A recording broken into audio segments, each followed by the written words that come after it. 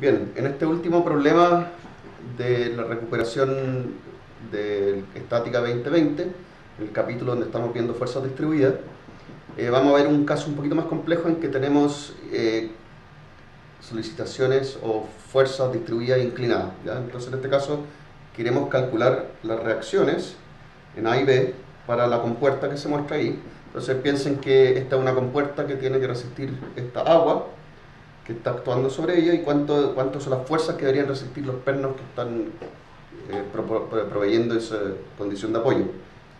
Acá un perno, aquí quizás esto está apoyado contra una pared, entonces tengo que calcular la fuerza eh, que la compuerta haría sobre la pared para ver si es que está dentro de mis límites de diseño. Esto sería como una parte del problema que habría que resolver para hacer una ingeniería civil de, un, de una compuerta. Bueno, el punto es que esta agua lo que hace es actuar sobre la compuerta y lo único que tienen que saber del agua es que eh, ejerce una presión, la presión en cada punto es proporcional a la altura de la columna de aguas justo arriba de ese punto. ¿Ya? Entonces depende cuánta agua hay encima, directamente multiplican eso por el peso del agua y ustedes tienen eh, la presión en ese punto. Y lo otro que tienen que saber es que la presión siempre actúa en ortogonal o normal a la cara en la que actúa. Entonces aquí las flechitas van a ir inclinadas tal que ese ángulo sea un ángulo 90. Entonces partamos expresando esta idea en un diagrama cuerpo libre, que es siempre lo más importante del problema. Si no tienen el diagrama cuerpo libre bien, el problema difícilmente lo van a tener bien. Eh, y por eso que cuando yo pongo notas, eh, pongo notas, mucha nota y mucho peso al diagrama cuerpo libre. Entonces vamos a partir poniendo lo que conocemos, las reacciones, hay una horizontal en A y una vertical en A, y en B, por la condición de apoyo que tenemos acá arriba, vamos a tener solamente una horizontal, BX que vamos a llamar. ¿ya? Luego, poner algunas dimensiones relevantes, vamos a poner los 4 metros que hay en esta dimensión, dirección y los 4 metros que hay en la dirección vertical perdón, 3 metros en la dirección vertical, eh, y la altura de agua está a los 2 metros. Entonces, a ver, pongamos aquí esa altura, son 2 metros, y eh, vamos a poner, el agua la vamos a poner ahora como una carga distribuida. Entonces esa carga distribuida comienza en 0 y crece linealmente hasta una presión máxima que ocurre acá abajo. Entonces vamos a dibujar un triangulito, así donde todas las flechas llegan y actúan perpendiculares a la cara. Esa, es la presión que ocurre. Y esta presión máxima, la presión máxima que está ahí, esa presión máxima va a ser eh, básicamente la altura de agua que hay en ese punto, que son 2 metros, en este punto son 2 metros lo que hay, lo mismo que está acá, ¿ya? por el peso o la masa de agua eh, o, o, la densidad del agua por G. Entonces Pmax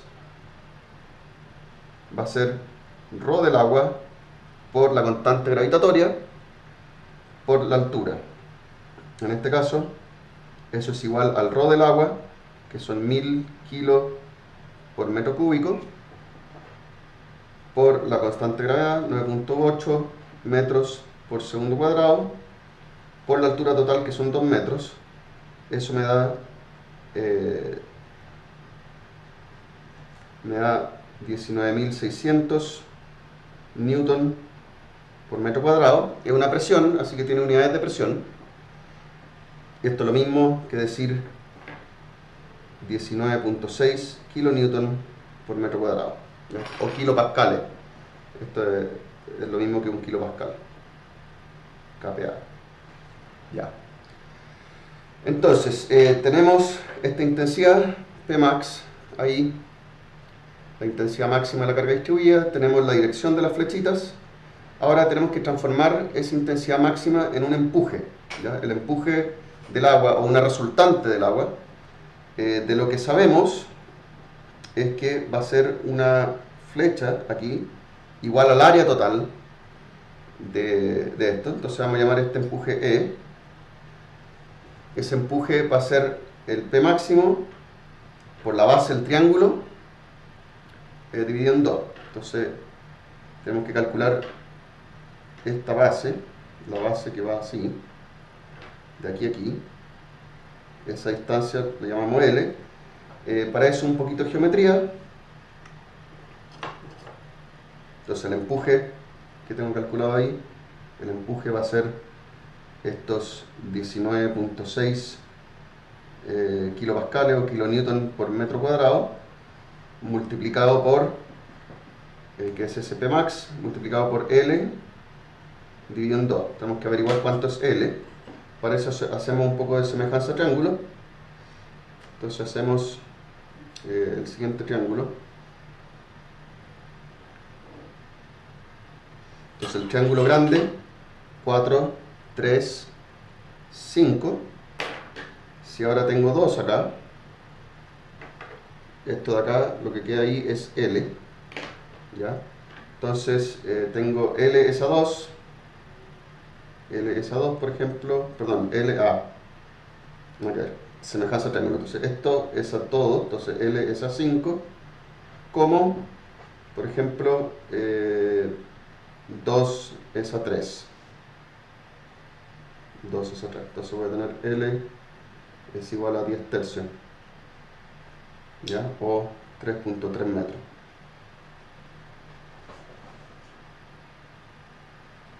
Bien. Entonces con eso podemos calcular el E. El E es 19.6 por 3.3 o 3,3. Eh, todo eso dividido en 2. Vamos a calcular rápido con la calculadora.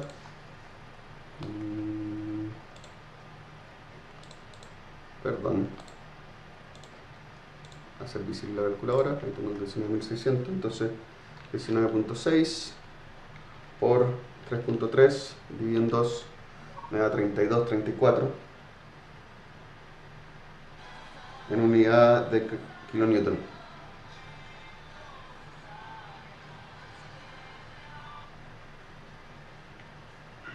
Perfecto. Eh, con esto, ahora hacemos equilibrio. Entonces, voy a, voy a poner este diagrama acá, o, hagamos el diagrama de nuevo. Entonces, nuevamente, eh, aquí tenemos así. Voy a dibujar como bien fantasmagórico aquí la carga distribuida. El empuje, eso sí. Entonces, el empuje total, ya lo calculé, son 32,34 kilonewton. Y eso está aplicado eh, a un tercio de la distancia total. Entonces esta distancia total que teníamos aquí era 3,3 entonces va a estar aplicado a una distancia de 3,3 dividido en 3 esto es un resultado de un video anterior donde vimos el punto de aplicación de una carga distribuida triangular. Y ahora a x ahí bx de esa forma. Y ahora hacemos equilibrio sobre esto. Entonces el equilibrio en este caso vamos a tener la sumatoria de fuerzas en x igual a 0 eh, lo único que hay que ver aquí es eh, el ángulo con, el que está actuando esa carga de 32-34 entonces como tengo a ver como tengo un ángulo de 90 grados aquí, ¿ya? Eh, y la inclinación de esta barra es 4 a 3, de esa forma, la inclinación en la otra dirección es 4, 3. Entonces puedo usar esa propiedad. Saben que la, la, pendiente de rectas que son eh, perpendiculares son recíprocos unos del otro. Estoy usando eso directamente. Entonces con esto eh, yo puedo obtener los senos y los cosenos rápidamente de, la fuerza esa que actúa.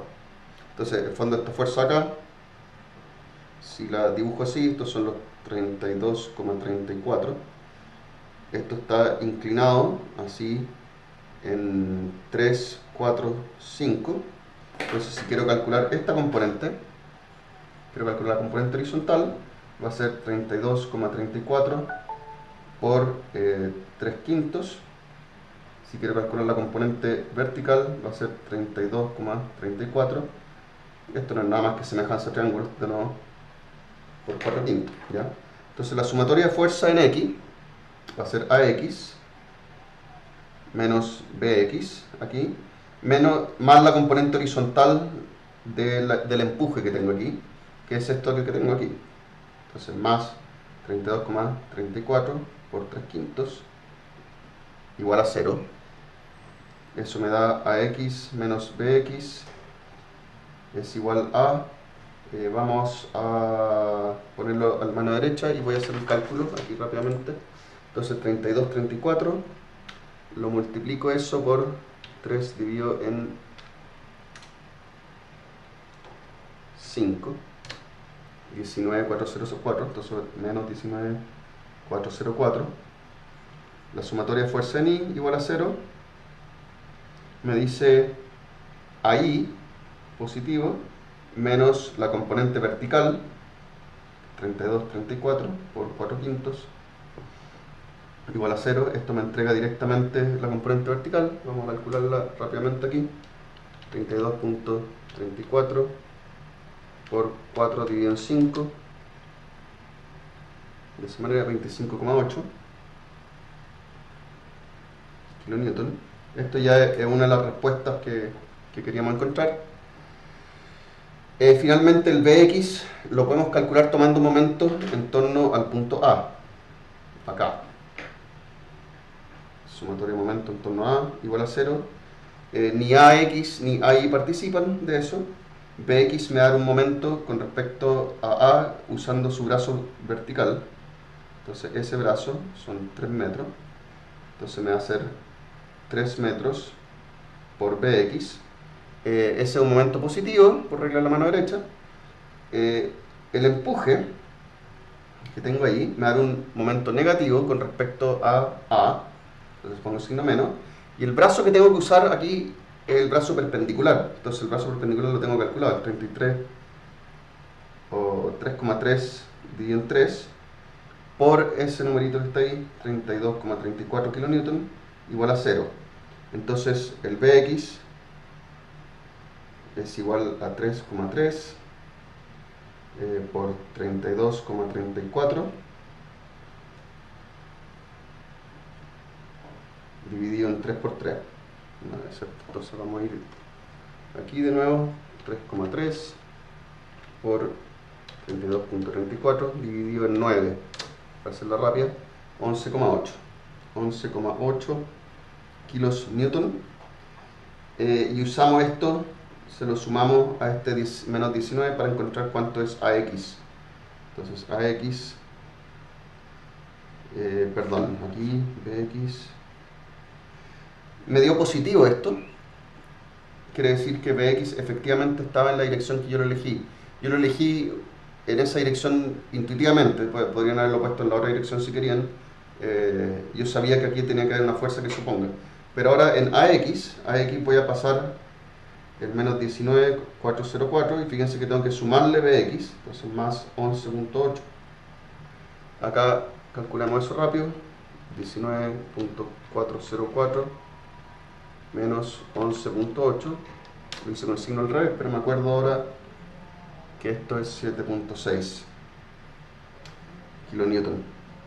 Y tiene un signo menos, lo que quiere decir que eh, la dirección que inicialmente asumí para AX, que es hacia la derecha, estaba equivocada, en verdad esta flecha debería estar en la otra dirección. Y tiene sentido eso, porque eh, la compuerta va a necesitar en, ambos, en todos sus puntos, resistir la fuerza del agua, empujando eh, la compuerta misma hacia la izquierda, porque el agua me va a empujar hacia la derecha, entonces tengo que resistir eso. El AI me dio con el signo correcto, entonces tengo AI, BX, AX, esos son los tres resultados que me definen la, que me definen la respuesta de esto. Creo que estaba esto un poco más abajo, entonces ahí el cálculo que hice fue Bx, eh, lo reemplacé acá arriba, me pasaba sumando acá. Entonces por eso me quedo con signo negativo. El signo negativo me indica que esta flecha estaba mal puesta en mi diagrama cuerpo libre. Eso es lo mismo, yo puedo poner las flechas en la dirección que se me ocurra. Después el signo me va a indicar si la puse bien o mal. Y eso da totalmente lo mismo. Eso es todo, con eso este es el último ejemplo de este capítulo. Les recomiendo hacer los ejercicios que dejé propuestos en el sitio web. eh, para repasar esto. Esos son todos ejercicios eh, lineales. Después vamos a ver en el, en el, siguiente capítulo ejercicios un poco más complicados con cosas eh, en, en, dos dimensiones para que lleguen bien preparados a mecánica de materiales. También más adelante vamos a resolver ejercicios de mecánica de materiales que son eh, de pruebas pasadas y todo eso para que eh, tengan una idea de exactamente cómo son esos enunciados. Eh, muchas gracias. Con esto cerramos. les publico otro video de teoría para que avancemos la siguiente semana. Gracias.